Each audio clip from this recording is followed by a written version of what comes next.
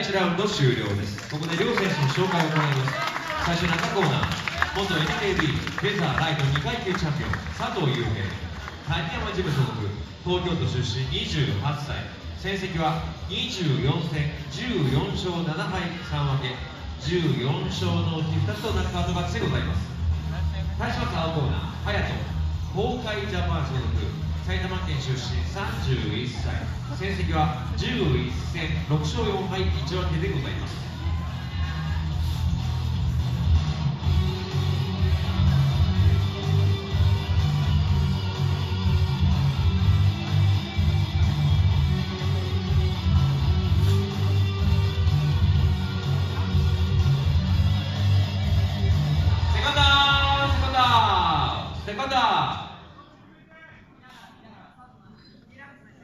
ラ